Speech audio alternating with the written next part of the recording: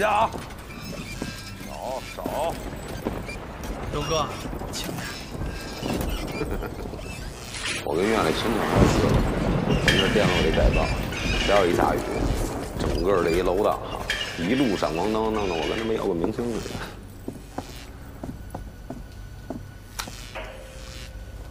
刘哥，嗯，这病房里的病人不见了。回头看。啊啊！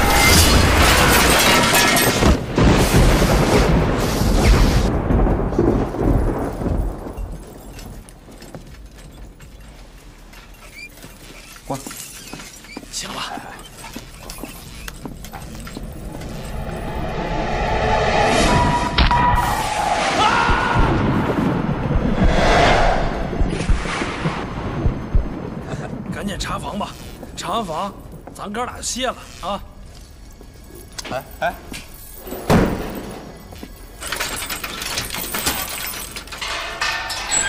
去过老冯的房间吗？还没有，我还没怎么排到过夜班。学着点啊，今儿我，明儿你。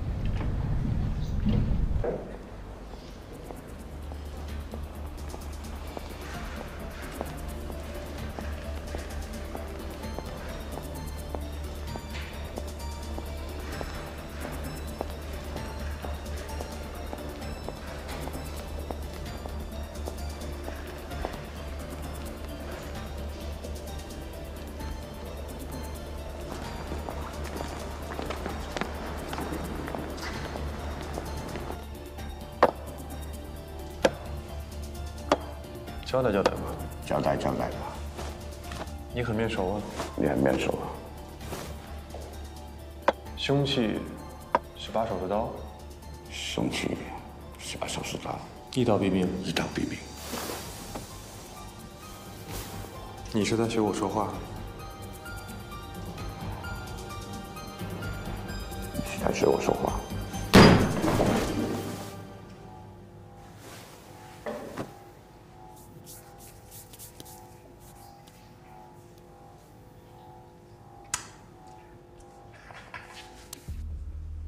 尸检和现场初步勘查来看，死者小刘是被手术刀割断颈动脉，大出血而死。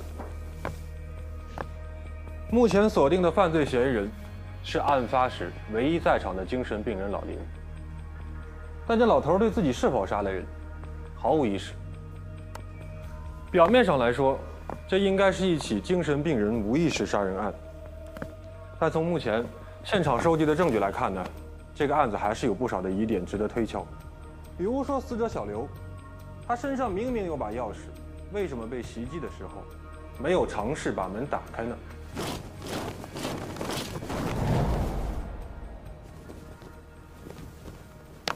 报告，接信警员荔枝前来报道。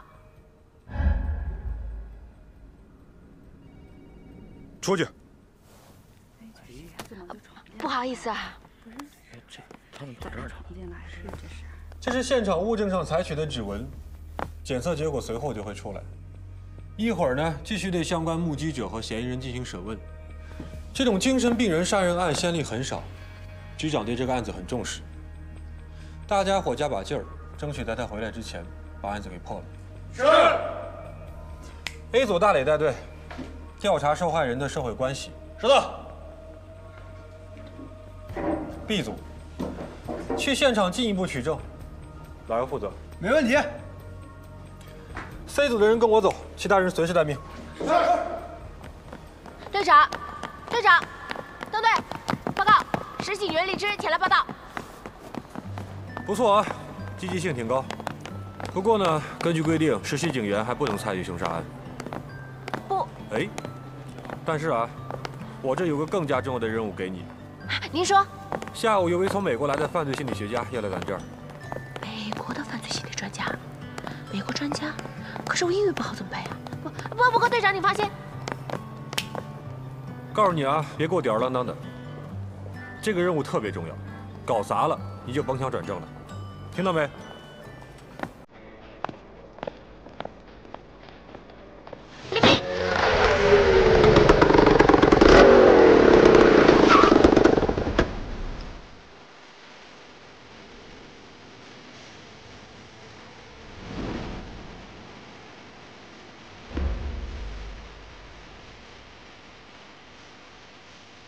我经理岂是池中物？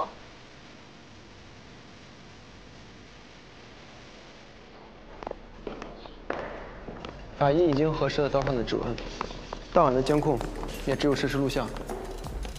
看来只能从现场的脚印中分析了。没问题，这就去办。哎，嫌疑人怎么处理？啊，院方已经安排了单独的房间把他隔离起来了。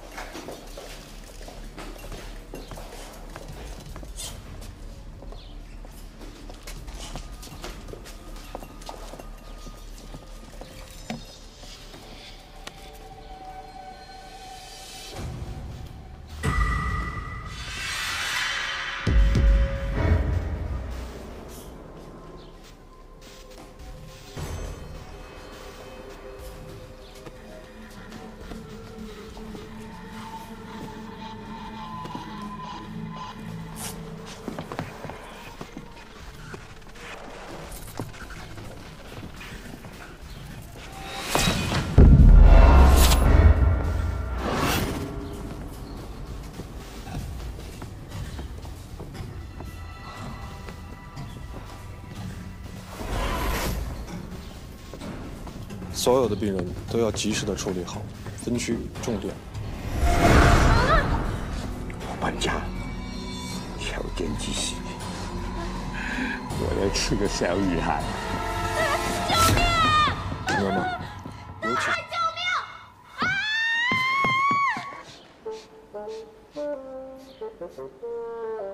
队长，我闻到什么味儿了没？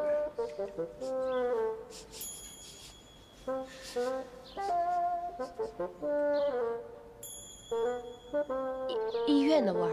谎言的气味儿。不是，队长，您听我解释。别解释，千万别解释。你还有两次机会。下午的讲座你要搞砸了，你就跟展亮说再见吧。好，不是，队长。你还有一次机会。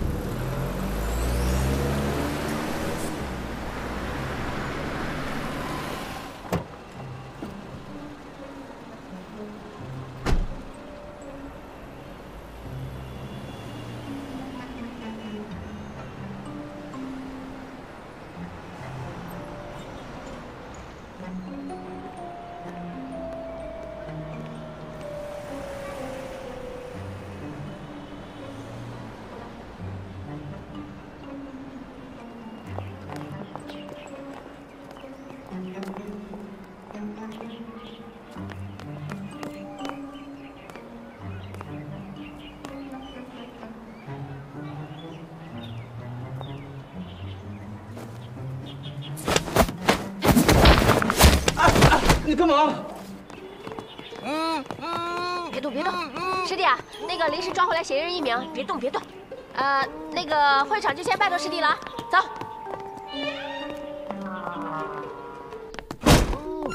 老实点儿。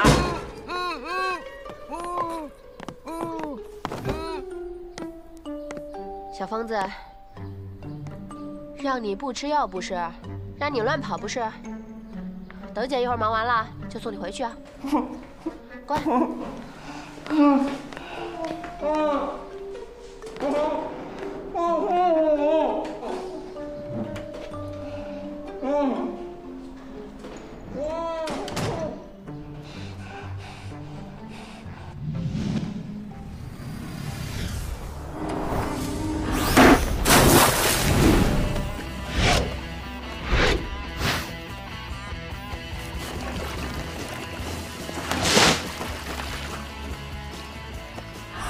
上警校哈，也不知道那几个搭档怎么回事儿，四个受伤，一个植物人。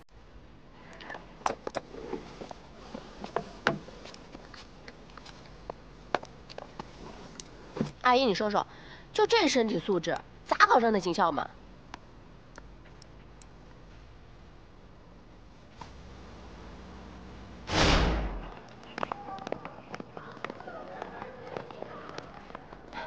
姨，我帮你来。不用不用，没事儿。不用不用，来来来来，没事儿。不用。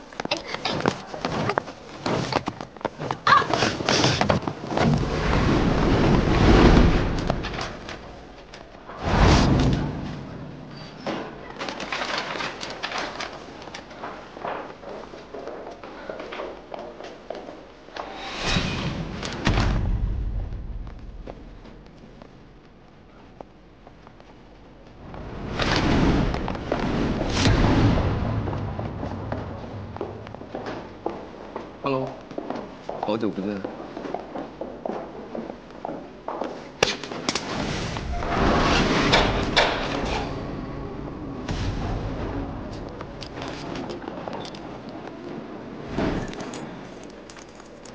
完事就放你，乖。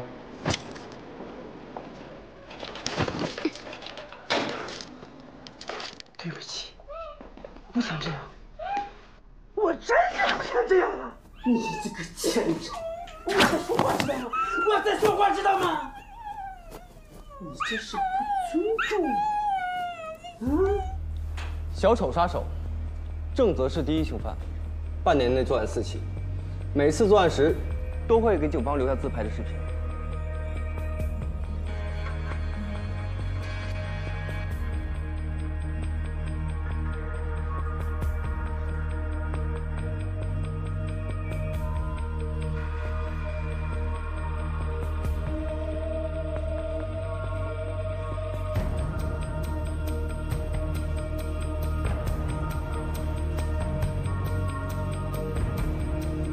杀手一般都有典型的心理疾病，动机不为求财，不是仇恨，会随机杀人，甚至还会有对以往罪犯致敬的模仿犯罪出现。一般刑侦手段对他们来说基本没用。至于你们，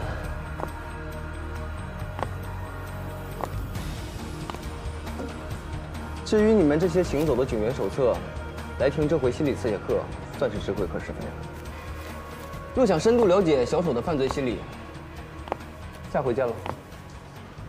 哦，对了，我觉得以后你们这堂课应该改名叫《警员手册不会教你们的这些事儿》。下课。哎，那谁，钥匙？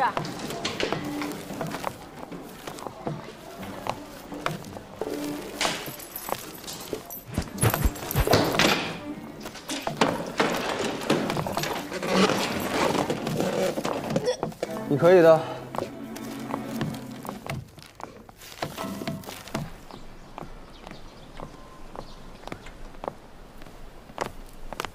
队队长，我别解释，千万别解释，丢人丢到家了呀！不是你想的那样的。你还有一次机会，不是你半次。别说当队长的没提醒你，再有半个月就是公安系统行政资格考试了，好好努力，不准再掺和办案。哦，对了，手铐给我，给我。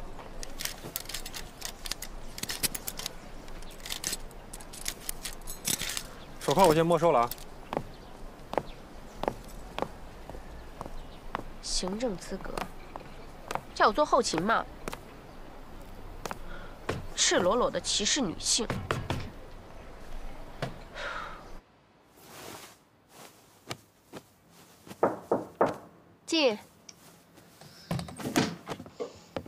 奶奶。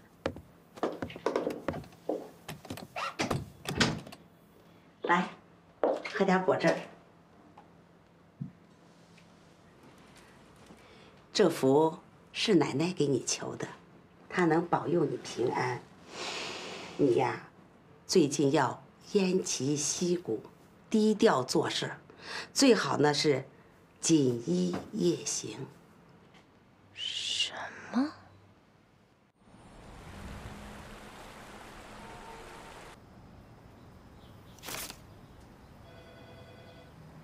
指纹对比结果出来了，作案凶器上的指纹，只有头号嫌疑人疯子老林的。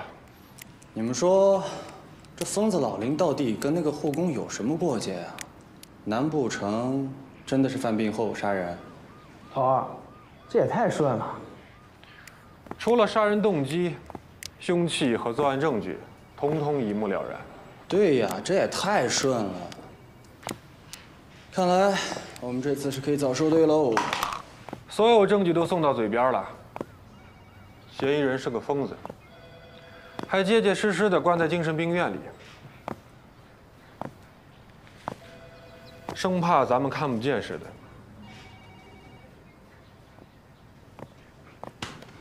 哎，队长，您，哎，去哪儿啊？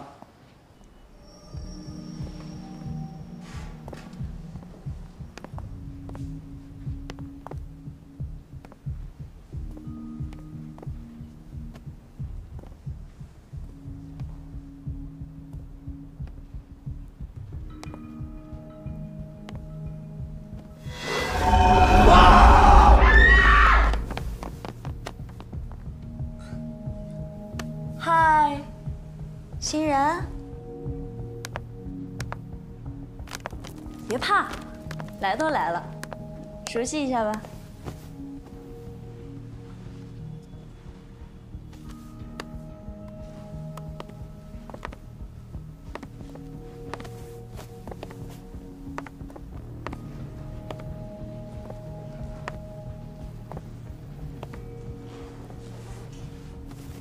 看大侦探的，饮鸩止渴喽。真人版感不感兴趣？你说的不会是你自己吧？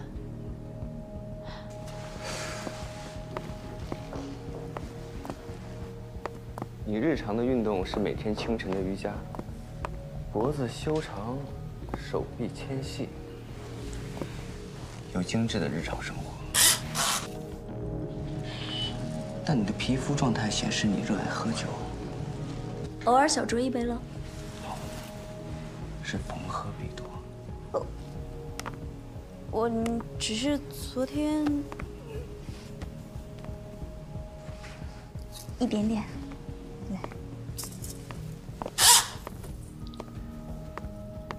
身高比例极度符合人体美学的标准。还有呢？九头身，骨骼匀称的隐藏在你健美的肌肤之下。第一次被夸健美，好害羞啊！健美是人体最理想的状态，没有一丝慵懒和懈怠。樱桃小口，明眸皓齿，你看中人的外表。嗯。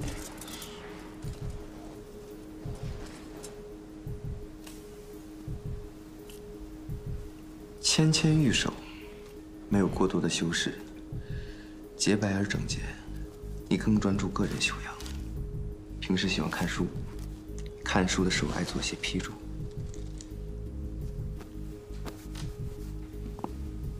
爱看英剧，心思缜密，却有冷幽默的一面。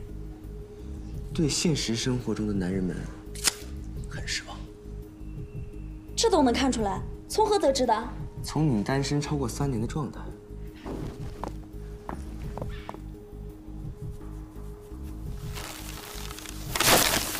好大的胆子，敢碰我的人！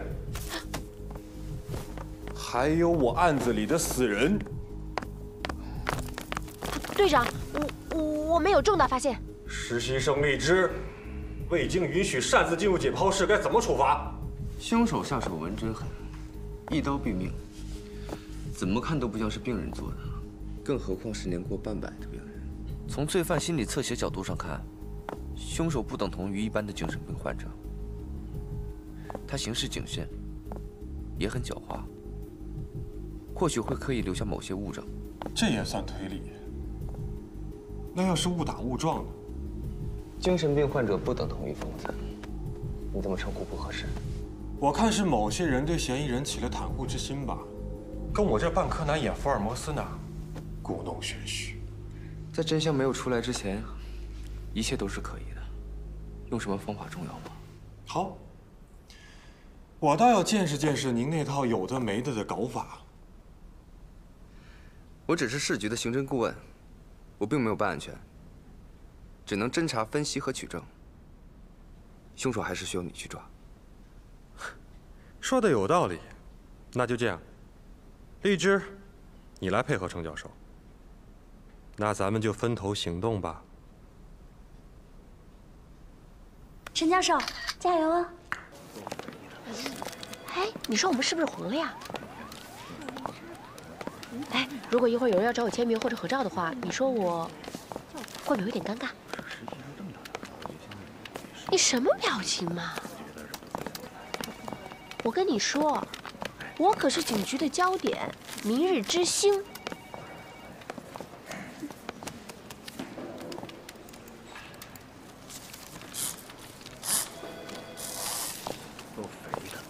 你这么膨胀，我怕你暴露炸到我。你会后悔的。我可是前途无量。牺牲这么大胆了，我觉得是不自量力。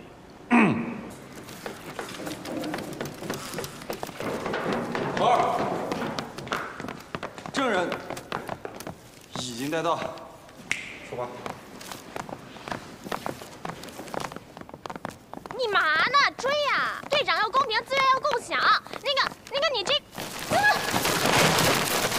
师弟，那那个一会儿再给你弄啊，一会儿。干嘛呢？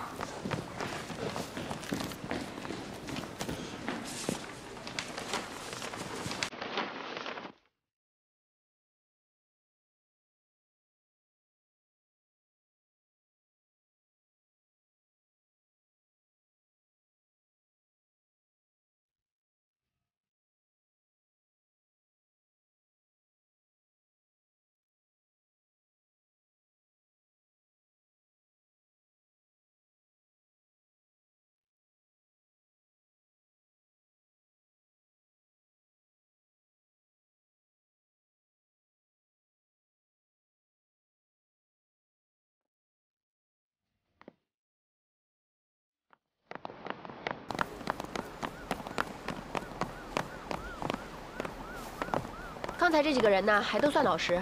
第二个人呢，有点好了，我知道了，你可以安静会儿吗？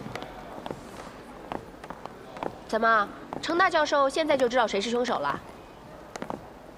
毕警官，以你的经验，你觉得谁值得研究一下？我觉得赵助理最可疑，应该先查他的。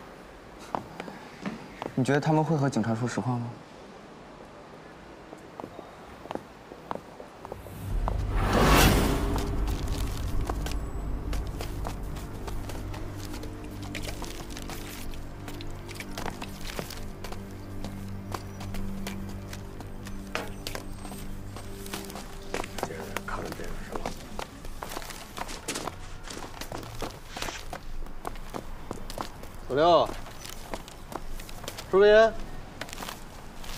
不要啊？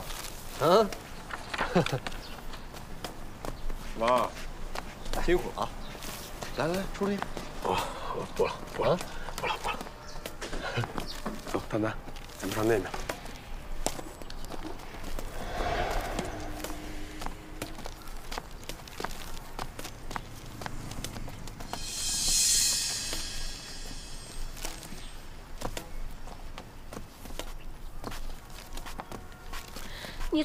的这件衣服啊？款式也就算了，这颜色，是不是显得肤色特别黄？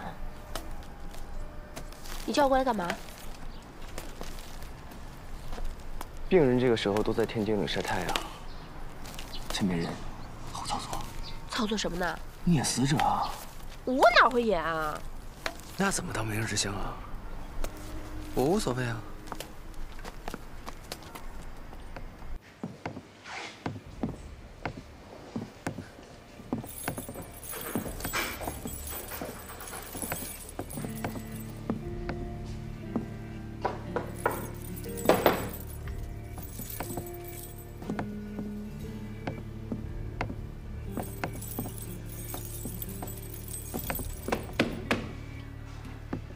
停停停！你可不可以用点感情走走心呢？我根据小王的证词，死者小刘是个性格很恶劣他每走进病房都会用力拍打房门，以惊吓病人为乐。所以你要用力啊，这样你才能体会到死者被杀之前的心情。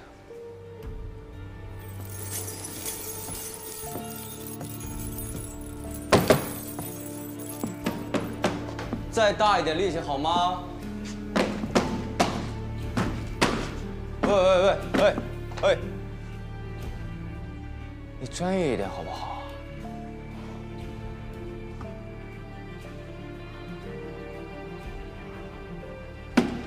够了没你？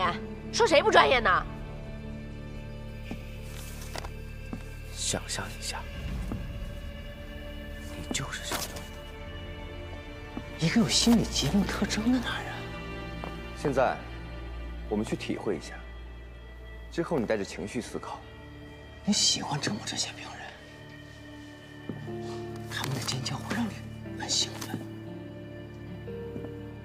如果你是小刘，一个让人厌恶、憎恨、恨不得把你杀掉的人，除了病人，会不会另有其人呢？也许是你小时候的受虐经历，让你变成现在这个样子。人物他们对你来说，就是一种情感的宣泄。再多一点，再多一点，很好。再多一些，很好。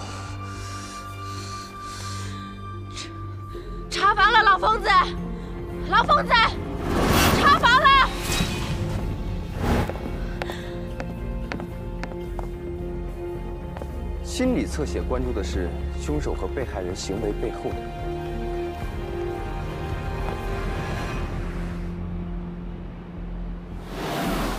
这个人家好奇怪呀、看起来像个铁匠作坊。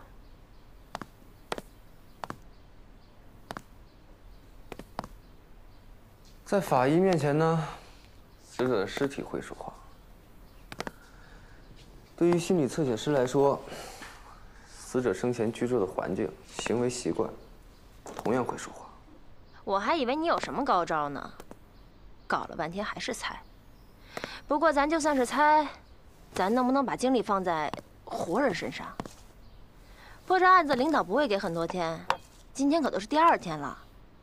语言和行为暴力是他成年后的一种心理释放。小时候应该受过一定程度的校园暴力。向比自己弱小的人或事物施加压力，是他寻求自我认同的唯一途径。所以，他喜欢打扰那些正在睡觉的病人。这是一种不能消解的力量。小刘又将这种累积的暴力情绪转移到了精神病院。无辜的总是弱者。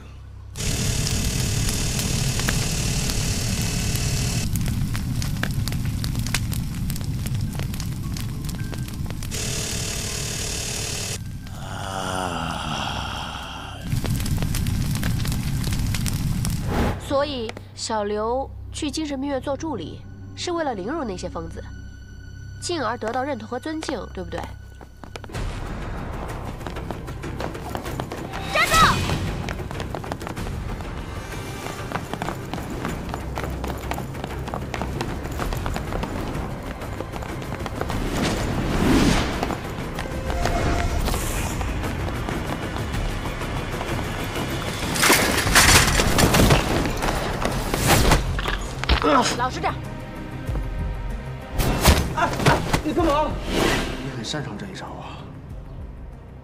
用惯了。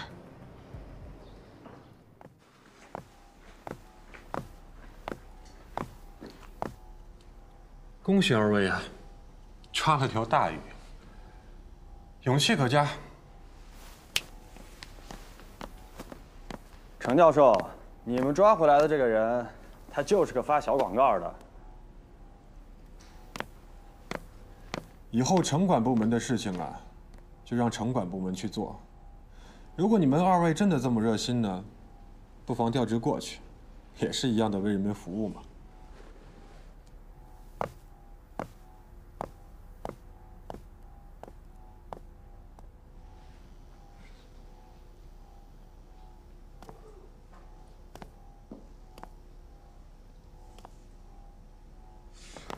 仔细调查小刘的人际财务关系。好，就这。记得啊，要走心。少废话，保证走心，影后级别。来吧。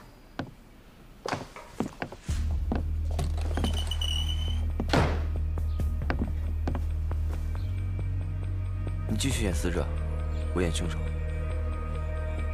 好啊。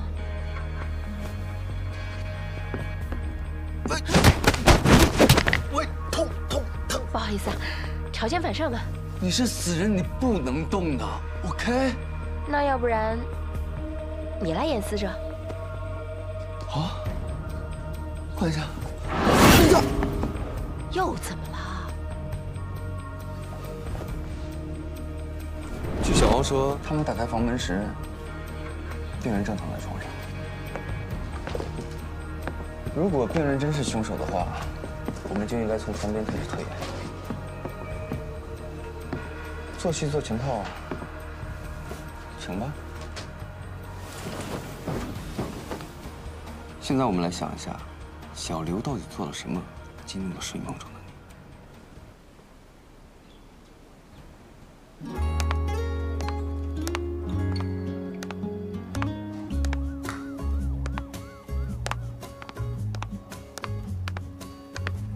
小新，你，你找我啊？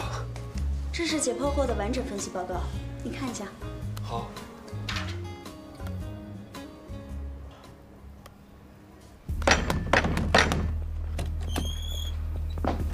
停！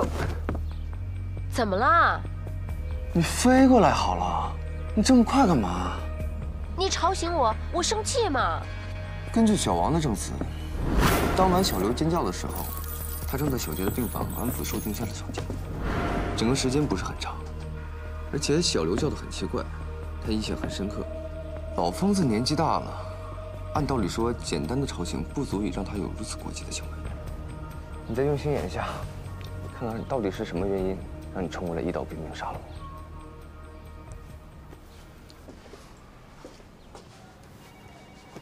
太好了，有了你的鼎力相助，破案不在话下。嗯，努力，看好你哦。拭目以待。不过，我是否有权利把资料分享给？陈教授一份呢？啊，当当然。夏洛克有话说，教授。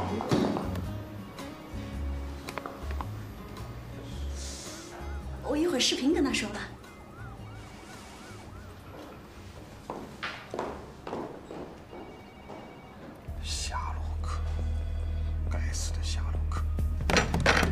老疯子，查房了。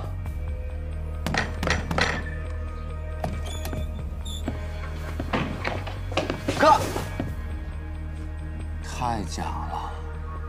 再来，停，哥，停，戏不对呀！再来，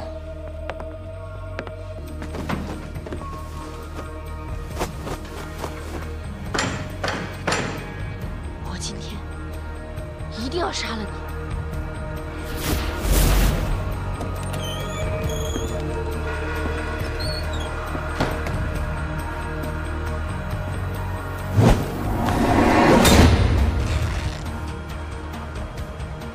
怎么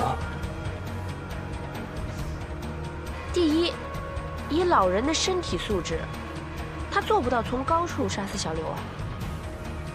嗯哼，不错，我们下来聊好。哦。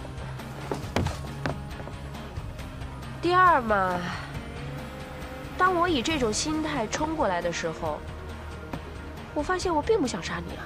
这就对了。你小刘的行为，根本不足以让老疯子产生如此大的反应。记得我们第一次见面的时候吗？我记录了病人平时走路时脚步的距离。原来你上次是在量这个，我还以为你也是神经病呢。好吧，走吧。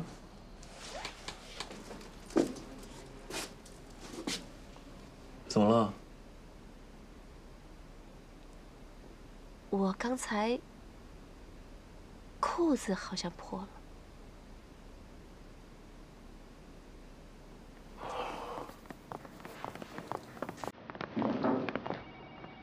进。队长，我们已经确定推断出老林不是凶手，凶手应该另有其人。证据有吗？还没有，不过凶手会比小刘高很多。那么你觉得应该是谁呢？现在还不知道，不过我们会知道的。实习生，听风是雨、血口喷人是不对的。我们警察办案呢，凡事要讲究一个证据。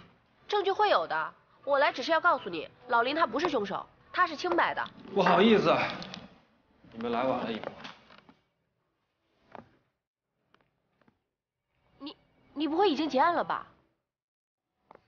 你们的这些所谓的推论。我早就已经知道了，而且呢，我还找到了相关的证据。关键是，比比你早。根据秦好的进一步尸检报告，刀口是从上往下刺进死者的颈动脉，所以说凶手一定比死者高。对啊，所以老疯子比死者矮，所以老疯子一定不是凶手。我们没错啊。您的推论或许是科学根据，但是推论永远是推论，这才是证据。不要以为读过几本破书，会一点推理就能破案。程教授，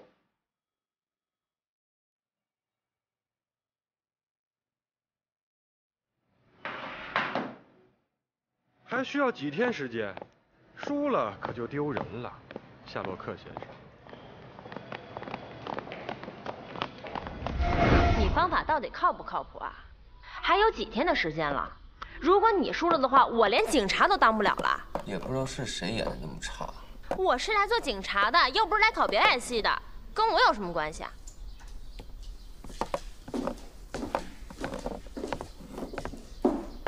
先点菜啊！嗯，老板，你你有菜单吗？没有。嗯，那您家有什么特色菜吗？意大利面条。有什么口味吗？不分口味，就分大小盘。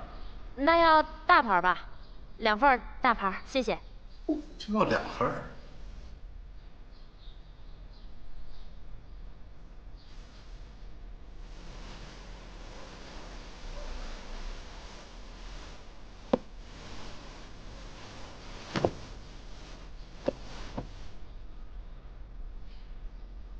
说真的，你到底有没有把握？有啊，你信不信我？我真的很想当警察的。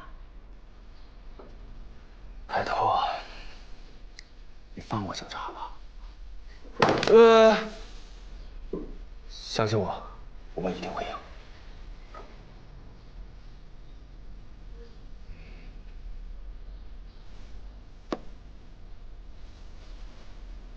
好，那我们加油，一定要给那个大白牛点颜色看。嗯。嗯，那个程教授，其实我还有另外一个事儿。嗯，这几天你也挺辛苦的，然后一个小小的礼物想要送给你，希望你笑纳。请保持一下距离，谢谢。保持你妹啊！嗯，保持距离。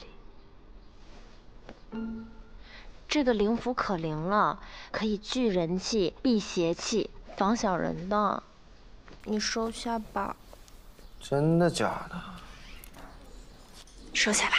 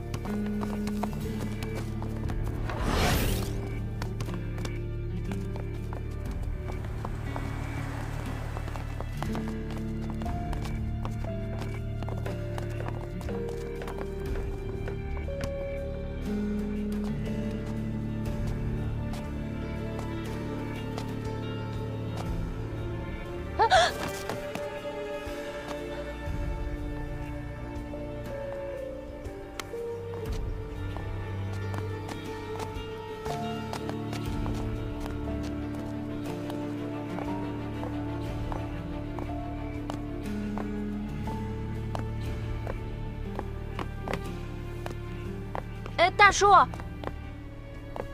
大叔，别问他了。问了一上午，什么都没问出来。指望从他们嘴里问出些什么不现实的，要学会揣测。揣测？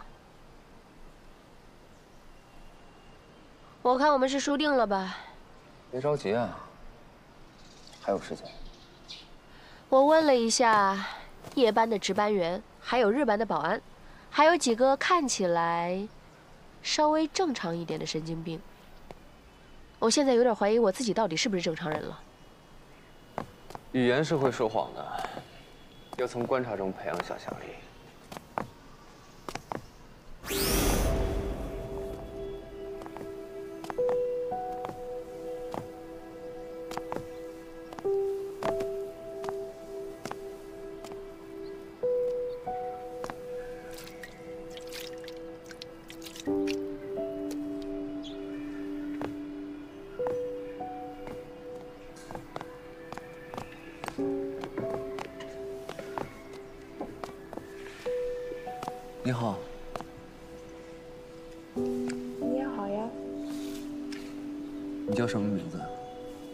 叫小杰。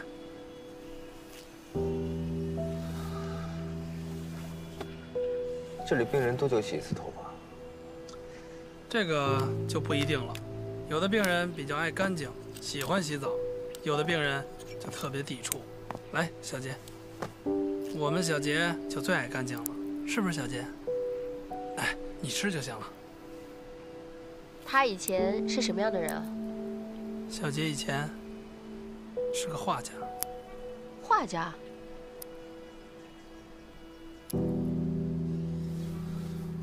我们换个地方说吧。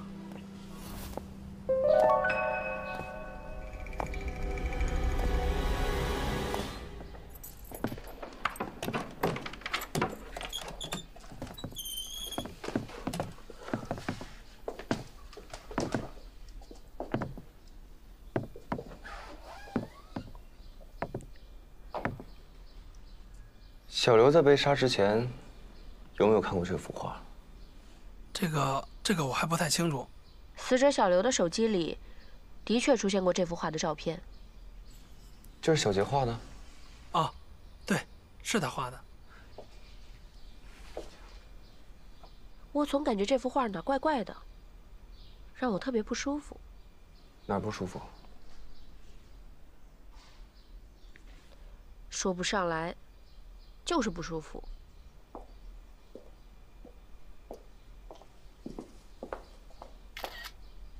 你们怎么又来了？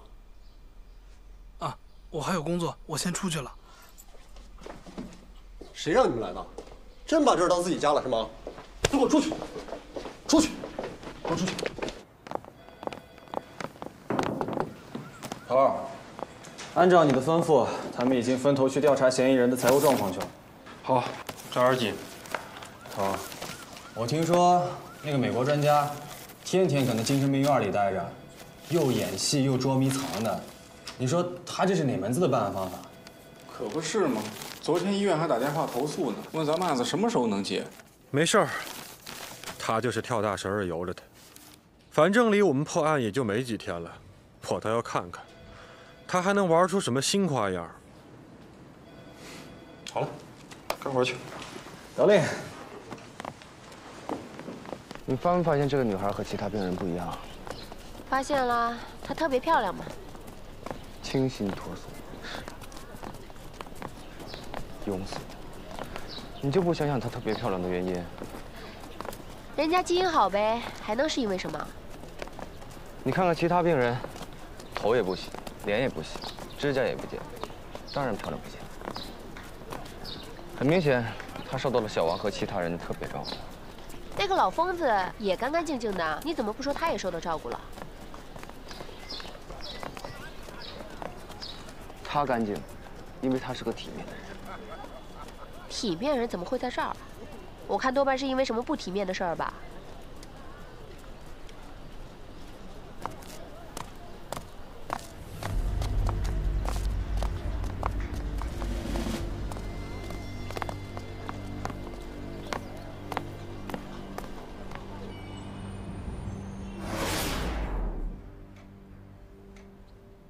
这幅画到底隐藏着什么含义啊？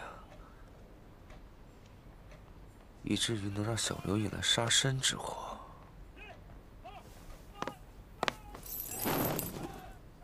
行了，想你也想不出来，要不然我们来演一遍。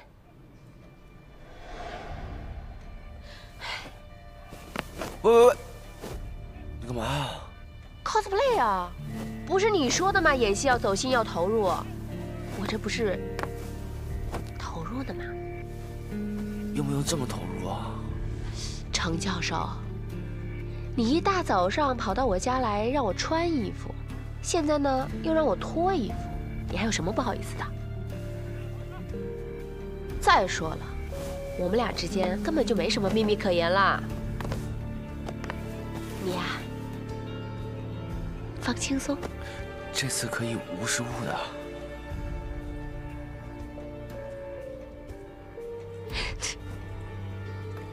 行了，不闹了。今天离破案也没几天了，这幅画现在是我们俩唯一的出路了，认真点儿。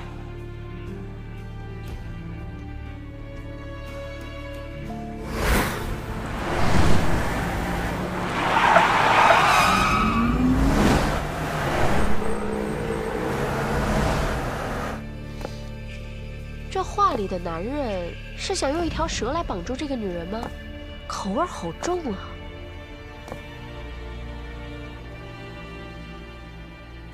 我总觉得这幅画有些别扭。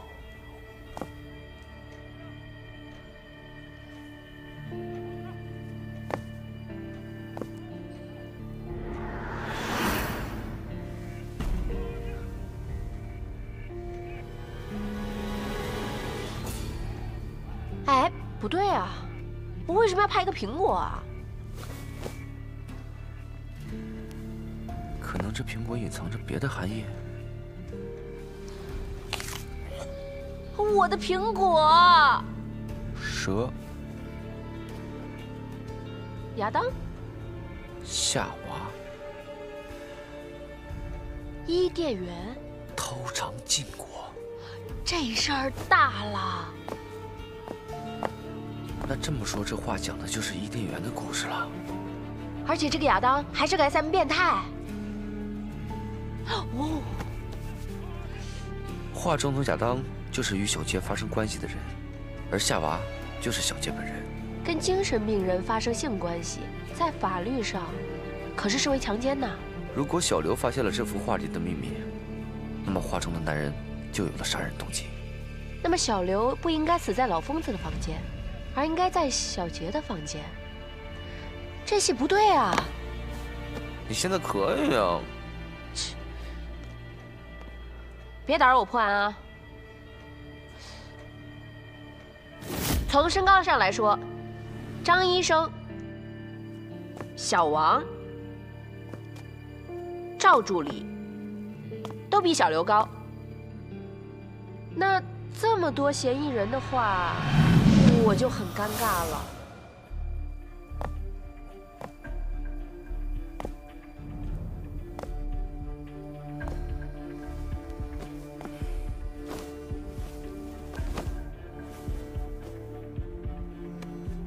交代交代吧。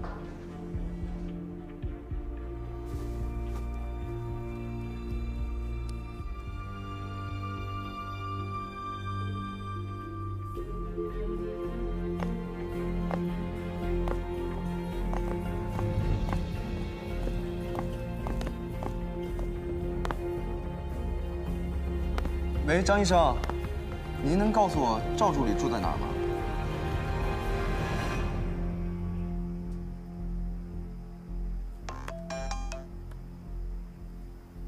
头儿，赵助理这边有线索了。头儿，头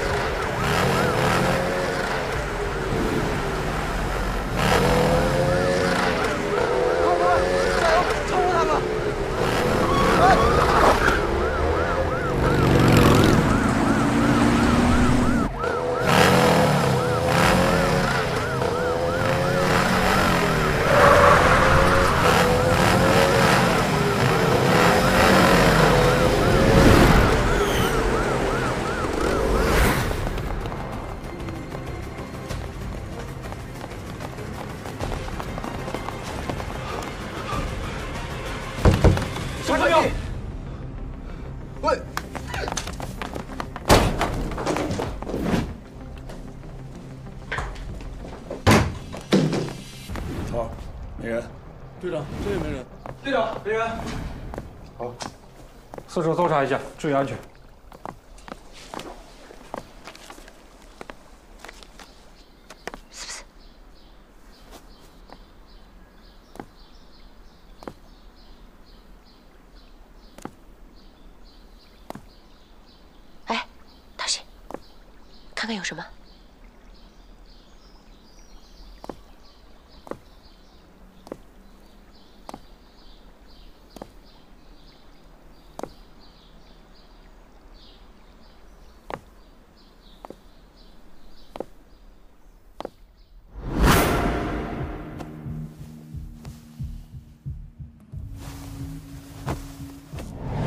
宣泄是他成年后的一种心理释放，这也许源自于他的童年时期，小时候可能受过一定程度的家庭暴力。好，嫌疑人在这儿。初步判断，死者是由于失血过多引起的休克死亡，致命伤是右手手腕的割伤。从血液凝固状况来看，割腕时间大概是四个小时之前。他还写了遗书，是畏罪自杀，不是自杀。现场还来过另一个人。你说来过就来过呀，证据呢？死者生前不太爱干净，地面灰尘明显，但茶几。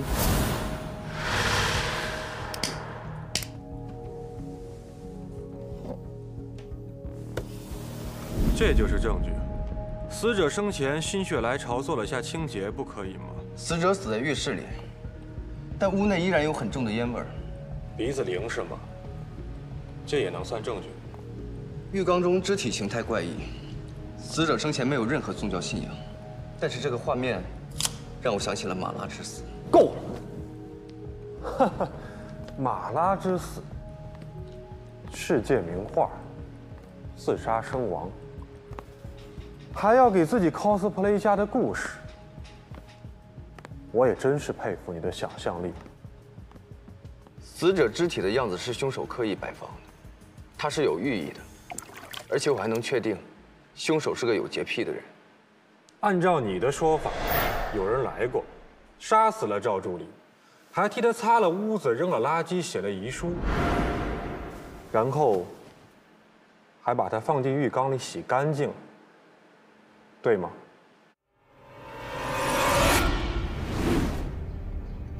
够了，不要再说了。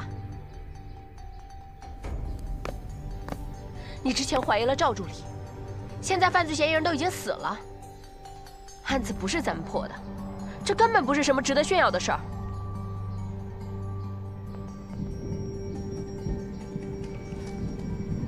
总之，你就是不肯信我，你跟邓瑞国一样。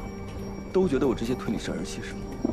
之前我那么的相信你，什么海龟，什么教授，现在呢？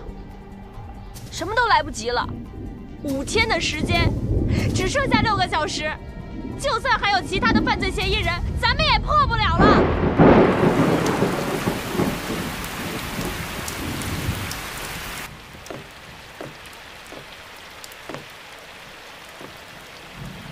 我信现场取证，即使是推理，也应该有实证做支撑。破案不是儿戏，他一次信口开河的推理，很有可能造成对嫌疑人的误判。这个责任担得起吗？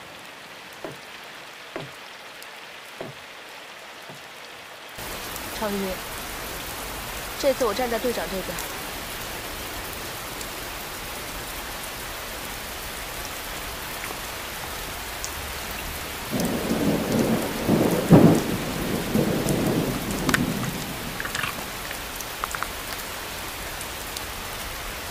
信了你那么多天，现在事实摆在眼前了。我们兜兜转转了一大圈，得到的却全部只是推论，而邓队却能找到实实在在的证据去立案。你一直都在埋怨我，说我的演技不好，不走心。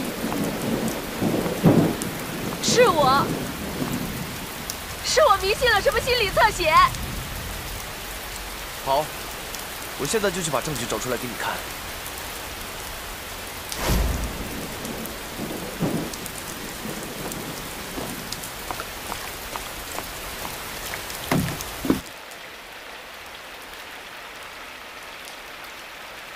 检测结果很快就会出来了。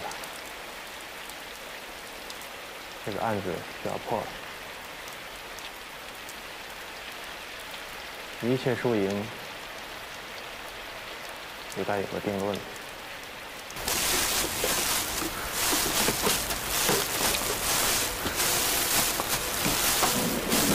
案子都已经结束了，快回去吧。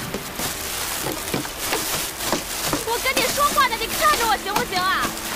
如果是为了案子的话，咱们破不了，没什么大不了的，我什么都可以放了。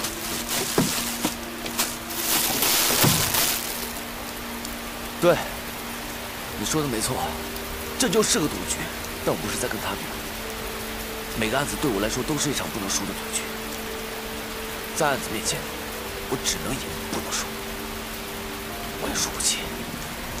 案子案子，疯疯癫癫，神神叨叨，赌徒，我看你就是不甘心吧？赵助理他不是凶手，你看看你自己现在的样子，你看看，你和精神病人有什么区别？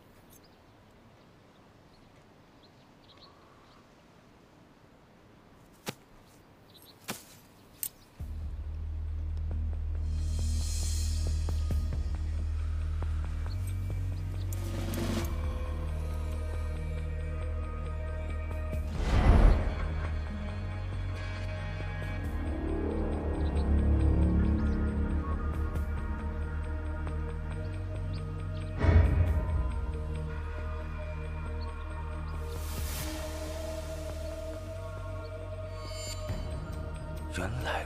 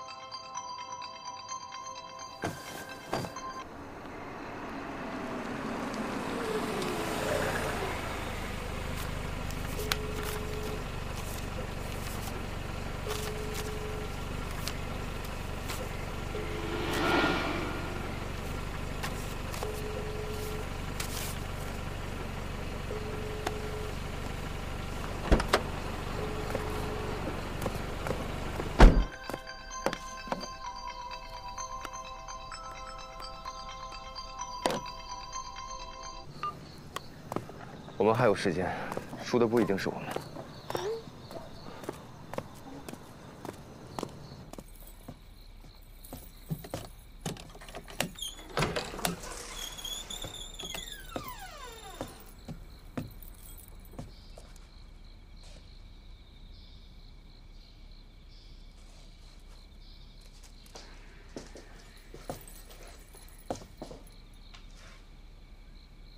可以的话，我能单独和他聊几句吗？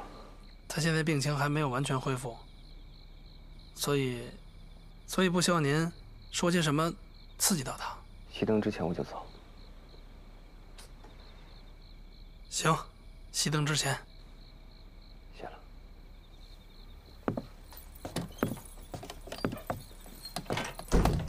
小杰，还记得我吗？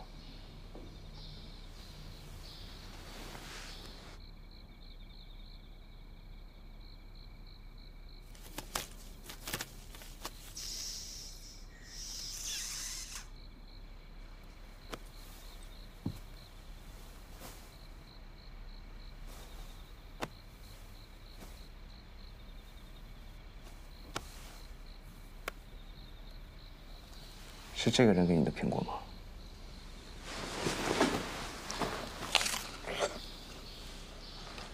好孩子，吃苹果。苹果就是苹果，根本不是什么禁果。你害怕的不是苹果，是蛇。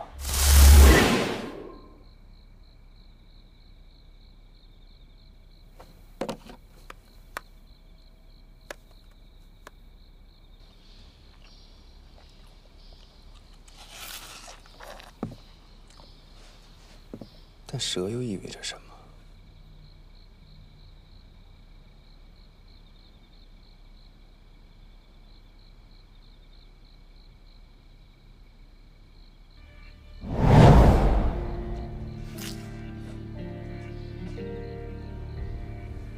难道你真正害怕的是小杰的画里还有第三个人？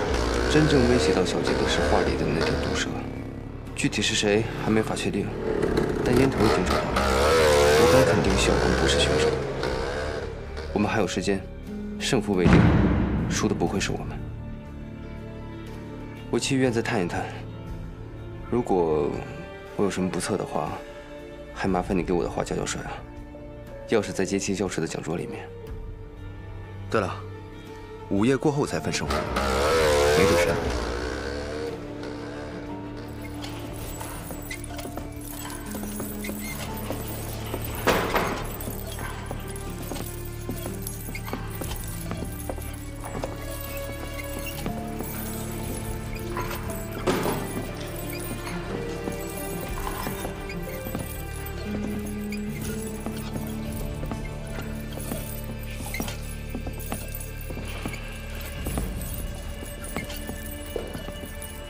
这么恶劣的性格，那他会以更恶劣的方式吓唬小光。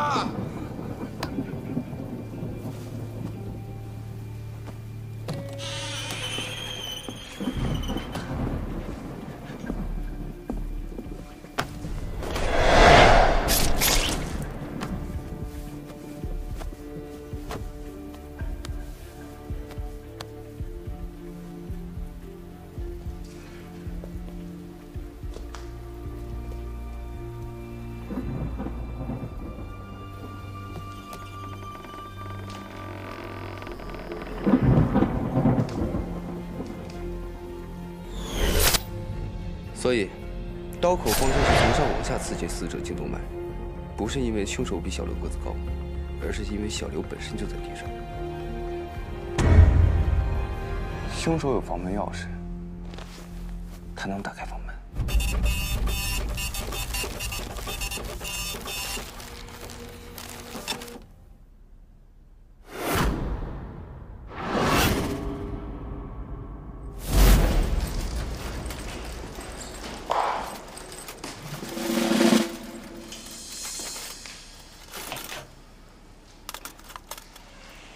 晚上，还有谁能拿钥匙开门？那天晚上还。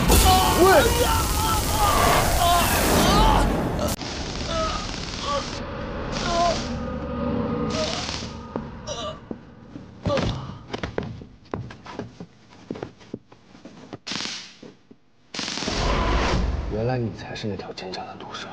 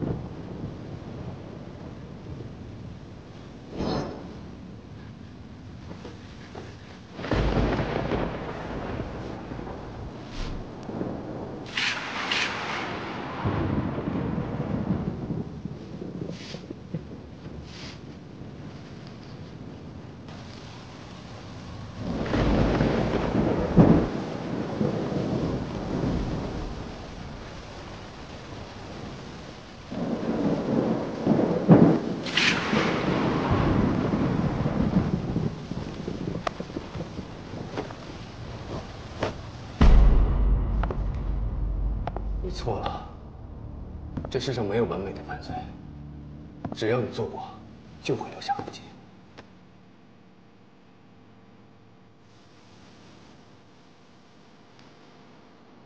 是吗？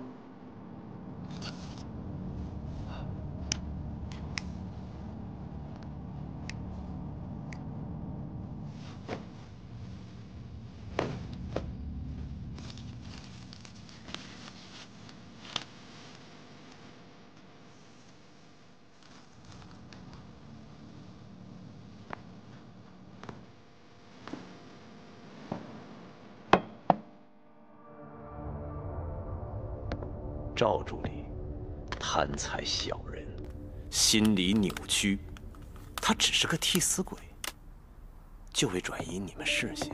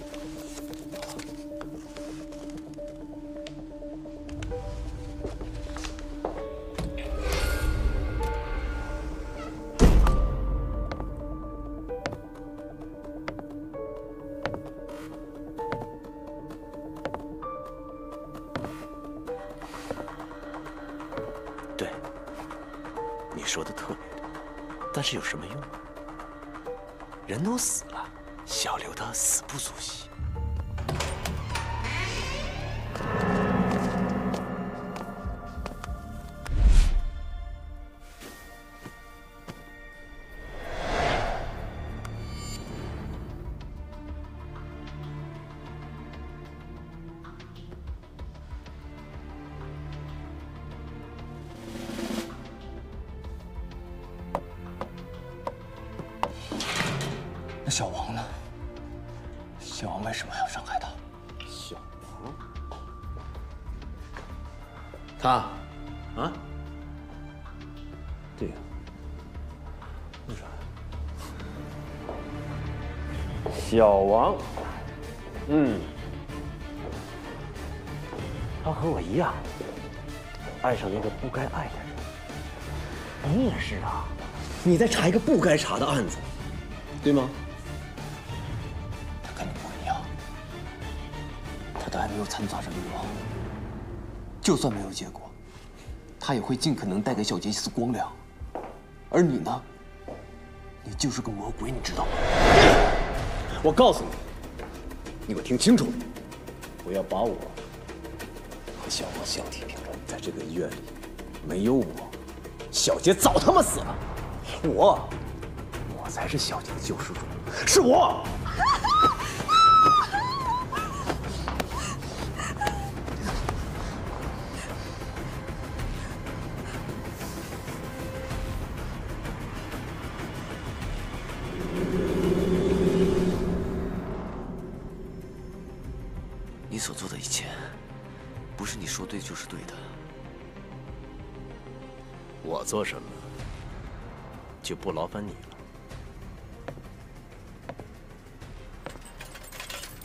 只要告诉你，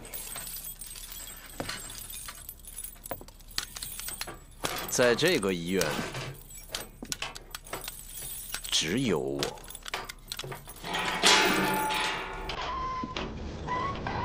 只有我张先良对小姐是最好。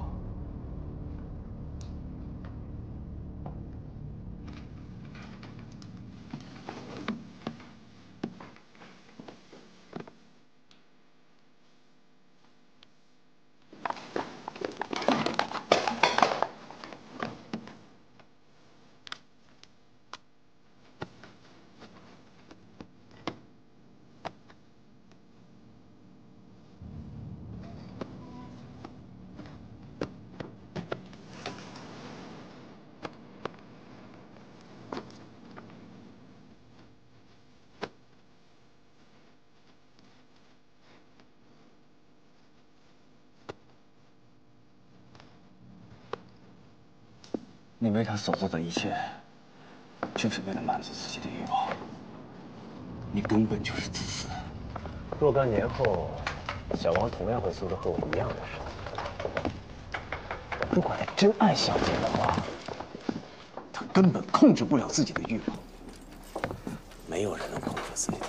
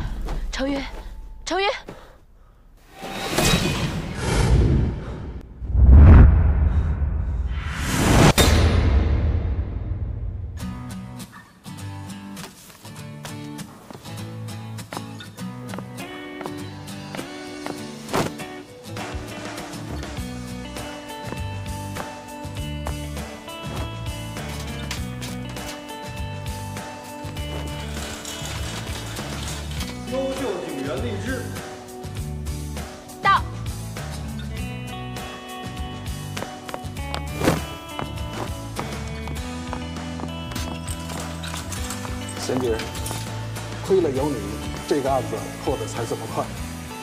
讲座，讲座一定要搞好，我也要学习学习嘛。